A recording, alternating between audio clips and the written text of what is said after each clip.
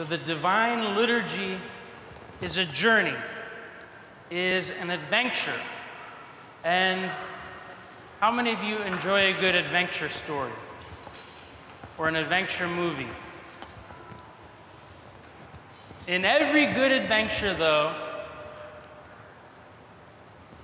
there's usually a bad guy, isn't there? Right? Sometimes it's a monster. Sometimes it's a bunch of monsters. Sometimes it's even a dragon. And usually in these stories, what is the bad guy or the monster trying to do?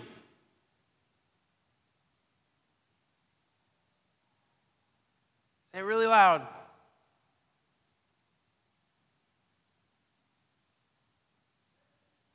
Trying to hurt you.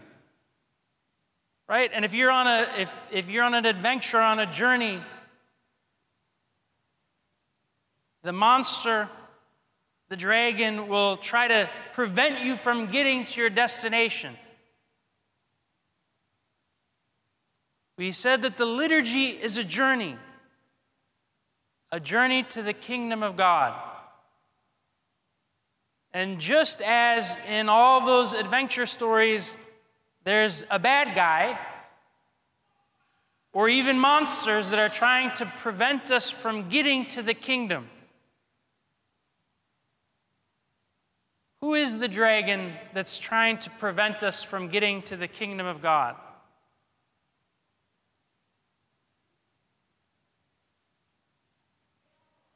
the devil, Satan. He's trying to prevent us from getting to the kingdom. But guess what? Every good adventure story, in fact, I can't think of a good adventure story where the person goes on the journey by themselves. They don't go alone. And in our journey in the divine liturgy, even though there's enemies, even though there's evil ones that are trying to prevent us from getting to the kingdom of God, and that may look like a distraction, right? Have any of you guys, maybe especially parents, noticed on a Sunday morning when you're trying to get to church, it's a lot more difficult to get things moving? I'm sure you're much better than I am, but I've noticed that things that I don't notice through the week will get under my skin and irritate me on a Sunday morning. And I, I, know this definitely isn't true that none of you get distracted when you're in church.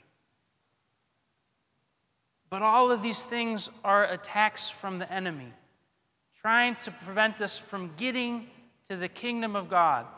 Both that experience of it we have in the liturgy, as well as eternity. Today is the apodosis, the leave taking of all saints. And it so beautifully coincides with the feast of St. Nicholas Kavasilas, who I so dearly love. And we're reminded on this day that in this journey of life and in this journey here in the divine liturgy, we're not alone. We have the angels above protecting us. Just imagine how amazing that is. In our spiritual life, we have our own Air Force. Right? Every time one of those thoughts come to disturb us or upset us or distract us in the liturgy, we can call on Archangel Michael and he'll come with his flaming sword and he'll chase that evil thought away. Now, again, once in a while, maybe you might get a little bored in church. And then you can remember the saints like Saint and Holy Prophet Elias, who rode into the heavens in a chariot of fire. Ask him to take you on a trip around the inside of the church in his chariot. Right? One of the most important things for us to remember and for parents to teach your children is that in this journey of life and in this journey of the divine liturgy, we're not alone. We're surrounded by a host of men and women and children, monks and nuns, priests and bishops, lay people, sinners and saints that have all entered into the presence of God and have the ability and the desire to assist us. All we have to do, as we heard in the gospel reading, is ask.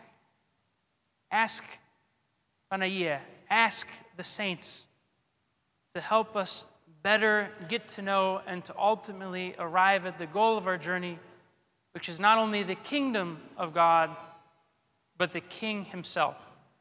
May the grace of our Lord Jesus Christ, our King, through the prayers of all the saints, and especially my favorite, Nicholas Kavasilas, be with you all.